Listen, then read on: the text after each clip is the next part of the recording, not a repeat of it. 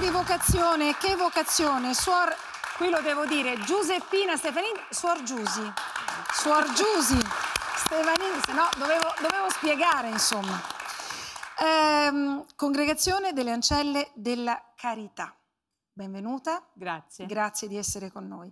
Eh, il suo lavoro è presso l'Hospice per malati terminali Domus Salutis di Brescia. Eh, Ancelle della Carità, che cosa sono, che cosa fanno? Allora, le Ancelle della Carità eh, sono una congregazione che è nata a Brescia. La nostra fondatrice si chiama Santa Maria Crocifissa di Rosa e ci occupiamo soprattutto mh, come carisma, ecco, uh-huh. la cura dei malati, non solo, ma anche la nostra santa ha avuto la lungimiranza di dare avvio a tutte le opere di carità sia per quanto riguarda i bambini, le case di riposo, cioè qualsiasi persona che si trova nel bisogno. Lei è riuscita ad accogliere tutti. Oltre che ad accogliere quella che noi chiamiamo medicina palliativa, insomma, la, ciò che serve per lenire il dolore, beh, possiamo già possiamo attribuirlo eh, anche come attenzione particolare, anche questo. Sì, perché il, proprio il carisma è nato proprio con l'assistenza agli ammalati. Allora, su questo non ci sono dubbi e, e questa già da sé è il click, la fotografia di Suor Giusi, che però non è nata Suor Giusi chiaramente, anzi era una peste bubonica di bambina, questo l'ho detto io perché ho studiato, perché ho letto di lei cose, eh, molto vivace, bambina molto sì. vivace, in una famiglia bella, eh, con un papà molto amato. Sì, io sono nata ecco, in una famiglia direi molto bella, mi sono sempre sentita molto amata. Mio padre e mia madre erano persone semplici, perché erano dei contadini e quindi avevano la campagna. Però eh, eravamo in due sorelline, io e mia sorella, e quindi il papà aveva un particolare così, eh, disegno su di noi, in particolare su di me, perché ero la prima. No? E lui pensava chissà che cosa che io diventassi per lui. Ma a dire la verità, io sono sempre stata una persona vivace, sono sempre stata molto aperta anche con gli altri, con tutti, ma avevo dentro di me una sensazione di essere eh, disposta ad aiutare sempre gli altri. E, ed era forte questo in me, questo bisogno, no? di dedicarmi oh beh, a chi. Questo, a questo crediamo assolutamente. Eh, il suo papà che la invitava in particolare, è, sempre buffo, di, di, mi scusi se dico buffo, ma la invitava ad andare a messa la domenica e lei era un po', ma sì, insomma, però avrei anche altre cose da fare. Incredibile, eh? Sì. Raccontato no. oggi quasi non ci si crede. Beh, io dicevo a papà, perché papà non è, papà non è che frequentasse molto la chiesa, né? andava a messa solamente a Pasqua e a Natale. E allora obbligava noi no, ad andare a messa tutte le domeniche. E io dicevo, ma scusa, quando sono diventata adolescente, né, questa era la mia ribellione, no, quando ero bambina, e mi dice, tu deve, voi dovete andare a messa tutte le domeniche. E io un giorno mi sono proprio ribellato e ho detto, no papà, io a messa non ci vado. Per quale motivo tu, ecco, eh, di, di, dici sempre a noi che dobbiamo andare a messa e tu non ci vai? Allora, eh, non vai tu e non ci vado nemmeno io perché non ne ho voglia. Punto. Non si direbbe a giudicare da quello che poi è diventata, eh? non si direbbe. Questa ragazza, Giusy, eh, ma è stata sempre Giusy, vero? Sì. Anche a casa, sì, Giusy, sì. Giusy. E mh, mm, qui la vediamo mh, mm, tutta seduta da sirenetta eh, accanto, accanto, ai fiori. Lei aveva la, la, sua vita regolare, normale, aveva un fidanzato, sì. aveva, mm, insomma, procedeva verso altro, un meraviglioso altro, la, fondazione, la creazione di una famiglia, eh, però era altro rispetto a quel qualcosa e a quella vocazione che arriva quando? Arriva verso i vent'anni. Come? Io eh, ecco, avevo il ragazzo, e, però a un certo punto capivo che non stavo bene più con lui e non c'era una libertà. Io sono andata molto in crisi, fortemente in crisi. Per fortuna che ho trovato un sacerdote che è riuscito ad aiutarmi nella scelta, perché non capivo niente, ero confusa, non, mm-hmm. non riuscivo a ho trovato questa persona che mi ha aiutato. Però anche lì mi ribellavo, perché dicevo no, non è possibile che io sia fatta per la vita religiosa, perché lui mi diceva tu sei fatta per la vita religiosa, mm-hmm. eccetera. E io dicevo no, non è possibile, io non voglio assolutamente, però è proprio vero che il Signore quando ti prende non ti molla, non ti molla mai. E, e, ed, è, ho, ed ho capito, proprio, ho proprio sentito questa voce interiore molto forte dentro di me il giorno dell'assunta. Io andavo a pregare, però non mi facevo mai vedere dagli altri perché sapevano chi ero.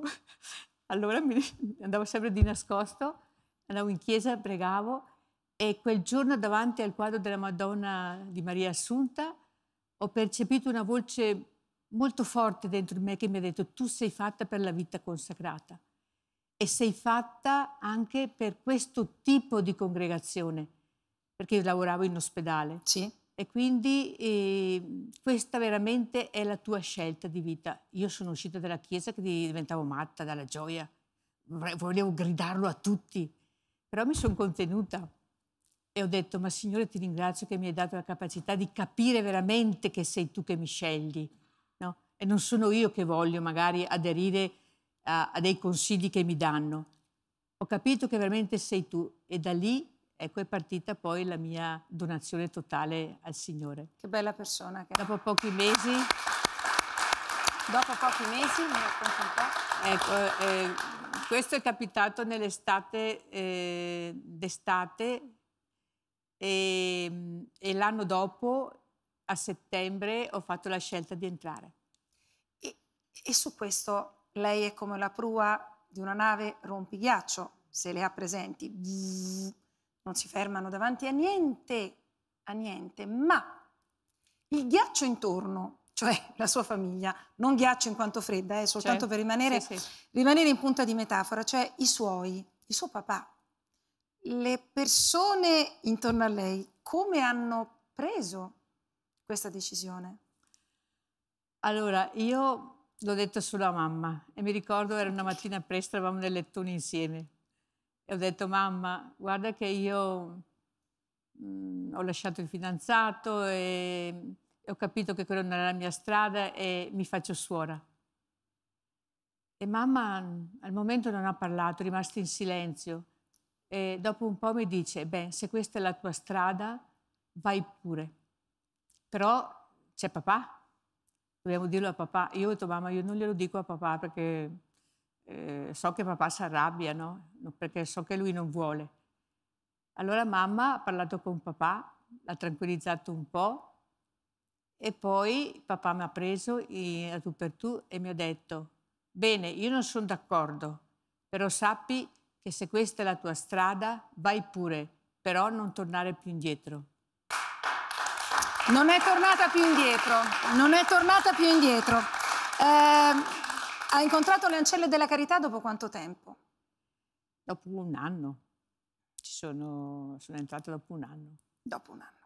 Eh, la Domus Salutis, questo per insomma, chiunque conosce questa struttura di Brescia, una struttura nella quale arriva anche chi non è di Brescia, quindi insomma siete Certo. così brave, così attente, così care. Ecco, l'insegnamento che una, una suora di ferro come lei eh, apprende tutti i giorni, qual è? Cosa prendo dal mio lavoro, Sì. dal mio contatto con i malati? Allora, eh, io lavoro in un hospice ed è il primo hospice in Italia Quanti siete a lavorare? di suore. Sì. Siamo in tre adesso, eravamo in cinque però qual- qualche anno fa e poi due sono andati in pensione e siamo rimasti in tre. Io, un'altra consorella che è la caposala e poi un'altra che si occupa della pastorale sanitaria. Sì. E, mm, io non ero, eh, come si dice, disposta ad affrontare ecco, questo tipo di ambiente, questo tipo di pazienti, perché avevo una formazione geriatrica. E venivo da una formazione geriatrica e quindi ero a contatto sempre con gli anziani, Sì, che sì. per me gli anziani ecco, sono persone molto care, che amo molto. E mi sono trovata ecco, in questo ambiente anche a contatto con la realtà dei giovani. Ecco, giovani, noi sappiamo che, che nell'hospice vengono soprattutto pazienti che hanno un tumore, una patologia oncologica e quindi dobbia- de- devono affrontare tutti i giorni ecco, questa realtà con la sofferenza, il dolore e la morte. Io i primi anni ho fatto molta fatica, e lo dico sempre, e ho avuto tante ribellioni interiori, eh, però capivo eh, che per me l'umanità sofferente era quella che mi dava tanta gioia nel cuore, era quella che mi dava eh, la capacità di andare avanti, anche se so, ho sempre, direi tutte le sere, perché anche durante il giorno tante volte invocavo il Signore, perché da solo non ce la fai, anche se tu lavori in equipe, anche se sei sostenuta dalle varie figure, eh, però ecco, ti prende molto. E quindi il contatto con questa realtà, dolore, sofferenza e morte, direi che ha cambiato la mia vita. In che senso? Nel senso che mi ha portato ecco, a cogliere quello che è l'essenziale.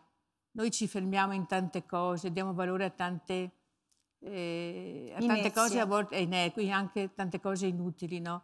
Quando invece ti accorgi che la vita ecco, è un qualcosa d'altro ed è un qualcosa di molto forte, di molto vero e che lo, che lo possediamo dentro di noi perché il dolore, la sofferenza e la morte ognuno di noi la vive nella sua vita anche quotidiana. Perché io direi, io dico sempre, moriamo tutti i giorni noi, noi non ci accorgiamo ma noi moriamo tutti i giorni, una parte di noi, perché la, la, la, persona è costituita da più dimensioni ed è quello che se queste dimensioni sono in sintonia tra di loro creano armonia no, nella persona.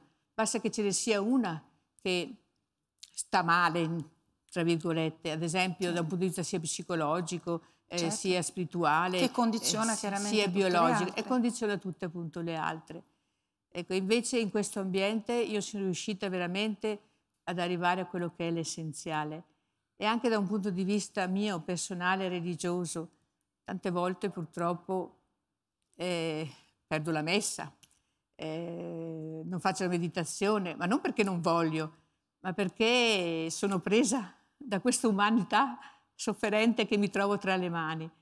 Però faccio certe riflessioni molto profonde dico, questo letto dove si sta consumando un sacrificio ed è una persona che sta morendo, no? Ecco, per me mi rappresenta veramente la morte di Cristo. E quindi ci penso tanto. A volte mi arrabbio anche col Signore, sai, perché dico, cavoli, tu hai sofferto tre giorni sulla croce, questa persona è già, non so, una settimana, due settimane, tre settimane, va bene che è gestita con la terapia e quindi è controllata con i sintomi, però quanta sofferenza dentro di sé. Raramente mi capita di stare così zitta di fronte a un ospite. Con lei, creda, non ci sono domande da fare. Solo un grazie da dirle. Grazie. Grazie di essere stata con noi. Ha detto tutto lei.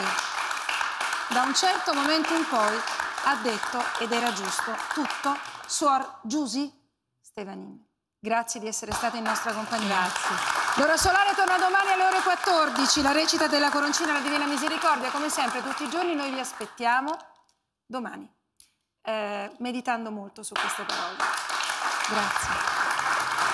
Ciao. Grazie. Grazie.